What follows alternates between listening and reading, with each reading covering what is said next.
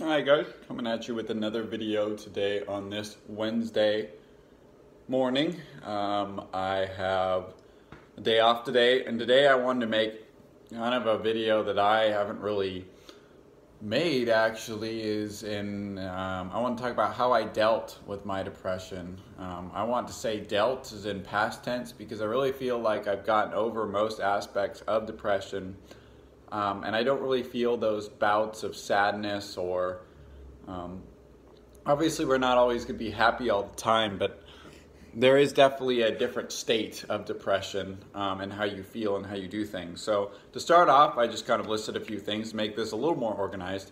Things that kind of caused my depression. I think the number one thing was relationships. So there's three relationships that I'd like to talk about um, both coming out of college. Kind of the, to give you a baseline of kind of when it happened was right after I graduated college, so around three years ago. Um, there was one relationship that was not healthy whatsoever. Um, I kept giving the person chances. They ended up cheating on me. I gave them a second chance, and it just it just was awful. Um, I just kind of felt like I was the minority in the relationship. I just got kicked around, and I didn't know what I was doing because it was kind of my first official relationship and people get taken advantage of and that's just unfortunate. And i personally like i, I don't disrespect i don't like taking um, too much authority in relationships because i don't i don't feel like that's right. Um, i like it to be even. Um, and i'm trying to figure out kind of what i want in a relationship and these kind of they all gave me experiences but that it wasn't pleasant and eventually it just ended but it was just physically exhausting and emotionally exhausting. And i was frustrated, crying, didn't know what to do. Parents were against it, friends were against it, but I kept going back and it just so frustrating. Second relationship, this one lasted on and off throughout college. Um, the fact of the matter is, is, is, as just one party, like I was just so much more invested than the other. Um, and regardless of like um, what happened and stuff like that, it's just the, I mean, we're still good friends to this day. It just, it, I put a lot more effort into it and it just didn't pan out. And I just wasted a lot of time putting in a ton of effort, not realizing that the other party really wasn't that invested. So that really, really, really was frustrating. Um, and uh, the third relationship, this is kind of post, but this is kind of a relapse. Um, this was around six months ago, um, or nine months ago when it started. Uh, it was a good relationship, but the fact of the matter was, it. Um, she just wanted to do something different with her life, and I figured, okay, well, if you're gonna do those kind of things, move away. Like, I don't think this is feasible to, to for it to continue. Other factors were that her parents didn't even think I was the right one for her before I even met her. She didn't even think I was the right one for her kept saying that kind of stuff, and I didn't want to be around that negativity. So it was slightly mutual. Um, obviously, it, for me, it it was directed that it wasn't mutual, and that's fine. I mean, whatever. So that and that was that was kind of after the fact. So kind of going back after college, and I'll kind of I'll explain the timeline. So um, that last one I talked about was like six months ago, but leading into depression. Um, I really, I was at an accounting job and I didn't really like what I was doing um, coming out of the second relationship that I was talking about. Um, I was I was doing something that I really wasn't that good at, and I think, you know, we try to focus on things. You know, we we we we run after the money, but if we're not really good at something, there's no point in pushing for it. I mean, there really isn't. Like you, you, the goal in life is to perfect the things you're good at. Um, and I just I just didn't do a very good job at that. And I kept pushing towards a job that I didn't really like. And going into the summer after I graduated, I was just, I was miserable working the hours that I was working. Um, the coworkers were okay, but I, I, simply really wasn't that good at what I was doing, and I didn't really enjoy it. Um, third, my diet. My diet was absolutely awful. Um, I just, I would eat so much sugar and carbs and processed foods and fast food and stuff. And eventually, you know, I started to cut back towards the end of college, but it's still, I think it still kind of uh, started to just build up and build up and build up in my body. Even though I have an extremely fast metabolism, still wasn't good for me. I wasn't running efficiently. I was tired all the time. I was crashing all the time. It was just awful. Um, and also, kind of my phone. Uh, that was the fourth one. I have like I use the phone so much. I mean, I, I am borderline addicted to it.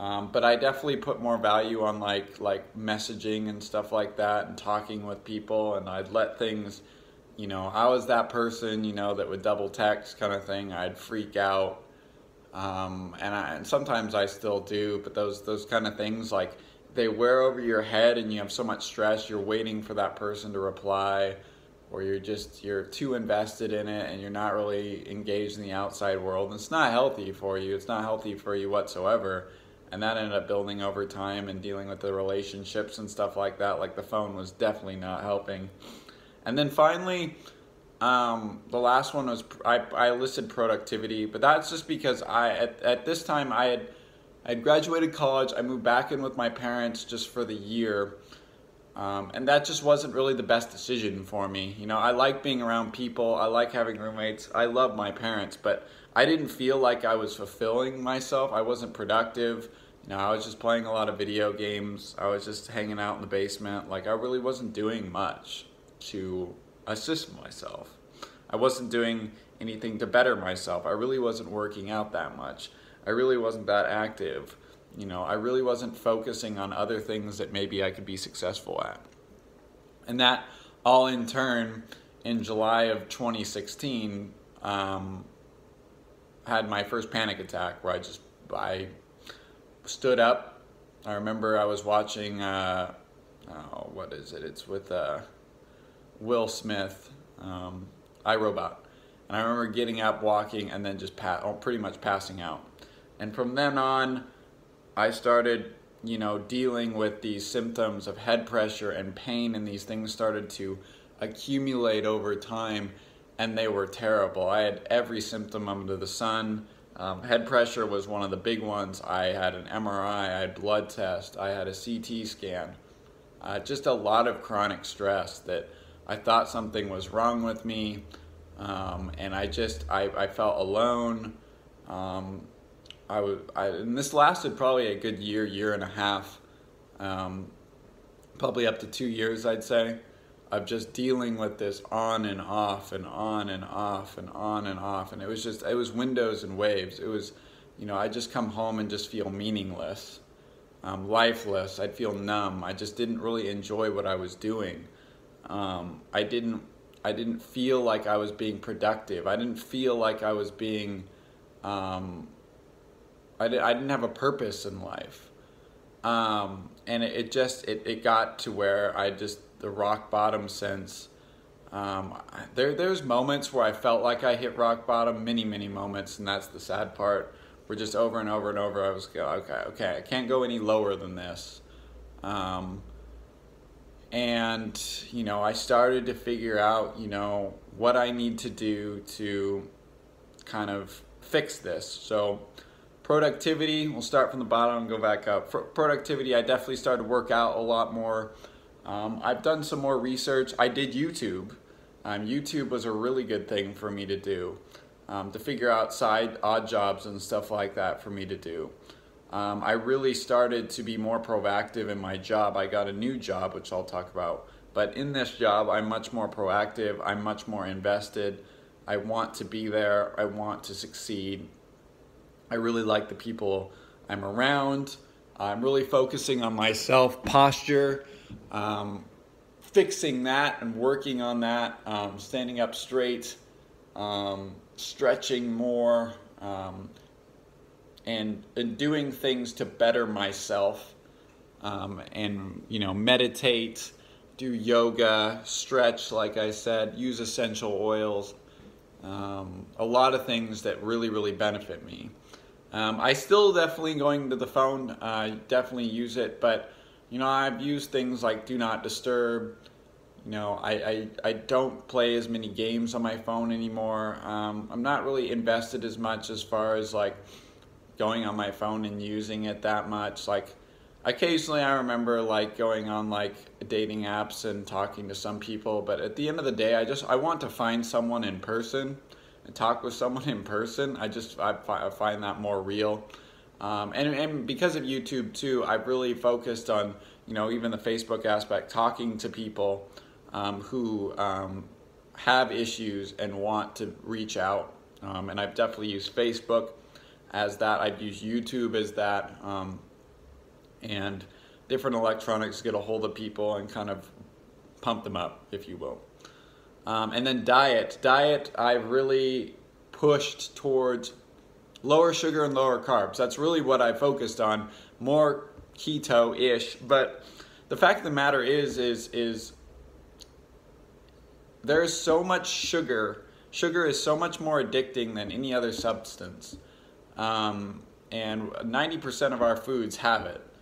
Um, and staying away from sugar can be really frustrating, can be really difficult to do, but I guarantee you'll feel so much better. I look around my coworkers and all of them are having energy drinks, sugar, and stuff like that. You're not going to feel good throughout the day if you're just pounding your body with terrible stuff. Like, um, along with diet, it just gave me better sleep. Um, I feel a lot better. I feel a lot more energy throughout the day. Uh, less inflammation, so less head pressure, which is one of the main topics I've talked about on this channel. Um, I feel better about myself because I'm treating my body a little bit better. I feel like overall I don't get as sick as often.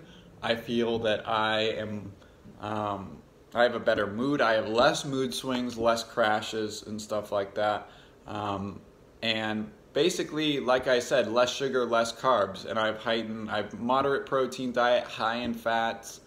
Um, I, I, take a vitamin D supplement kind of during the winter, and a daily vitamin here and there. But that's that's about it. I mean, I really really focus on just keeping everything pretty clean. Um, and then up to two jobs. So I transitioned to a different job, um, more of a sales aspect instead of accounting, and I really really enjoy where I'm at. I've got promoted four times in the past six months, which has been awesome. Um, I've, I've, been working hard to keep improving myself, um, keep becoming a better person, working with people, making my way up to a pretty much endless ladder. Um, and I'm really excited for what's to come um, because I, I really like thoroughly enjoy being at my job. Um, schedule sometimes a little bit of a grind, but I no one will never know what a grind is unless you're an accountant or or people that work 80 hour work weeks. I don't know other people. I know doctors do, but um, it's definitely a, a, grind. And and this job is a grind too. But I enjoy the people I'm around. I get to play a lot of golf. Um, I get to be around a lot of people. I get to celebrate with them. In fact, I'm I'm possibly moving in with a few of them, coworkers, which will be awesome. Um, and I'm really looking forward to um, what is to come. Whereas at my accounting job beforehand, it was just, it was awful. I didn't enjoy it whatsoever. I was just miserable. I didn't really know what I was doing that much. I just didn't really excel in it. And I definitely excel more at this job. Um, and then finally, relationships. Like, I got into a better relationship around nine months ago, like I was discussing. This is going back to the third relationship, which really was, was, was fulfilling for the most part in the beginning um, and and definitely kind of took a lot of the stress away because you know like everyone gets lonely here and there and they really enjoy being around different people and, and I definitely enjoy being in a relationship where they're happy and I definitely say that like it was one of the best that I've had although like at the end of the day like and this is kind of where the little bit of a relapse came in for a little bit there because I was just really stressed out um, probably around February, March, because um, it ended. And it was more so the fact that, like, you know, like I said, she wanted to do something different with her life, and I really wasn't too much on board with uh, such a dramatic, dramatic change. Um, I wasn't on board of being told that I wasn't good enough over and over and over again. And I wasn't really on board of, of, of a person that like you know, she was definitely supportive, but at the same time too, uh, just a little bit just brutal um, as far as just just the person. She's just, yeah. I, I don't really want to speak too much on it because I mean people could definitely watch this video, but I, I don't condone any of it. I hope the best for all the people that I've dated. And I and most of them are quite successful, and I really really want them to be happy. Like I really do. Um, it's just unfortunate that it didn't work out between some of us that you know it just wasn't meant to be. Um, and maybe things change down the line, but um, after that, I kind of figured out, you know what, like people really aren't getting like married until later. Like I have a lot of time. I always got really anxious and being like, and I'll, bouts of it where I really want to be in a relationship. But the reality is like, it's going to come when it's going to come. Like it'll be unexpected. Um, and we'll go from there. Like I'm excited for it. Um, and I've really accepted that. I've accepted, you know, that pain's going to be in my life, that I'm going to feel pain. Um, I've accepted the fact that, you know, I'm going to feel sad here and there. It's it's the acceptance is one of the biggest things that's helped me through depression is the fact that I'm not going to feel great all the time, but I can choose my attitude. I can choose the way I want to live my day. Um, and, and I have the power of that. And if, if I choose to have a good day, I'm going to have a good day. Um, and I have a lot of potential. I have a lot to offer too. Um, I really do. And I don't want to be arrogant or anything like that, but I definitely want to be confident. I mean, I'm very humble in some aspects, but I want to be confident in other aspects. Um, and I think for a lot of people, um, finding a purpose is huge. I guess going over the three things that really helped me. Um, purpose is huge. If you find a purpose, whether it's spiritually, whether it's job orientated, if it's goal orientated, you have to find a purpose in life. Because if you don't have a purpose, then what is your point of living? Um, I think the second one is really understanding that like it's it's this world isn't sunshine and rainbows. It really isn't. It's not fair. It really isn't. It's not fair at all. Um, but but you can make it the best you can make it. You don't have to just sit there and, and pout about it because, you know, at the end of the day, it is what it is. Things are going to be great that come into your life, and things are going to be awful that come into your life. And third, I really think that that genuine human connection and being around your peers and really using each other um, and being around positive people are a huge factor in your life. If you are around people that just aren't aren't really affecting your life in a positive way, get out. Relationships, get out. If it's a wife, get out. If it's if it's family, get out. I mean, at the end of the day, you only have one life to live, and if there's if there's things that are holding you back, whether it's um, people, things, um, drugs, alcohol, stuff like that, you got to change it. If you're going to make drastic changes, you have to make drastic change in your life. Um, so I hope you guys enjoyed this video. I wanted to put it dealt because I really felt feel like that I have I've, I have overcome most aspects of depression. Um, I'm, obviously, we all deal with anxiety and stuff like that as well. But um, I personally really have become a lot more level headed since that day in July of 2016. Um, and there's been ups and downs throughout the way, but I guarantee you I am so much better than I was, even, even like feelings wise, like how I felt, my health overall, my mental health, my mental grit. Um, is much better than it ever was, even before college, even in college, you know, when I didn't worry about these kind of things. So hope you guys enjoy this video. I really appreciate the support. I really appreciate the comments and stuff like that. Um, I'm trying to post a little more videos that are more appealing. I definitely have, have, seen that there's a little less engagement and if you made it all the way to this video, at the end of this video, I really appreciate it. Um, and I and I think that's that's mainly because I've just not really uploaded much, and I'm doing videos that are a little bit off topic, but are things that are I'm passionate about. So this one is definitely going to be a longer video. Obviously, we're at 19 minutes right now, but I really do appreciate your feedback. I hope you guys kind of watch the timeline, and I, I hope that it really helps you out. So have a great day, guys. Peace.